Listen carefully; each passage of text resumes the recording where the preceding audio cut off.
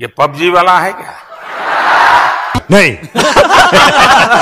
ये battle ground mobile India वाला है। एंड हाँ अभी आप इसको बैन भी नहीं कर सकते।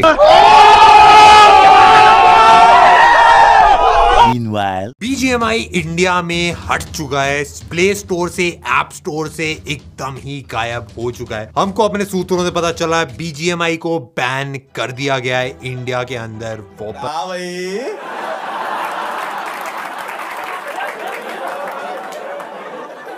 कैसी लगी? आगे स्वाद।